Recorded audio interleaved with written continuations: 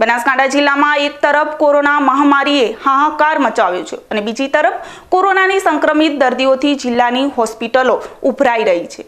જ્યારે કે થરાદમાં પણ આવી ભયાનક સ્થિતિ રહેતા અન્ય ક્લિનિક દવાખાના પણ દર્દીઓથી ઉભરાઈ રહ્યા છે.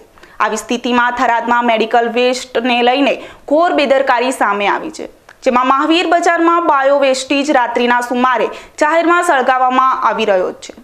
જેના કારણે આજુબાજુના વિસ્તારમાં અતિશય દુર્ગંધ મારી રહી છે અને આવી ગંભીર મહામારીમાં પણ અનેક રોગચાળા ફાટી નીકળવાની દહેશતના પગલે રહીશોમાં રોષ પ્રવર્તી રહ્યો છે.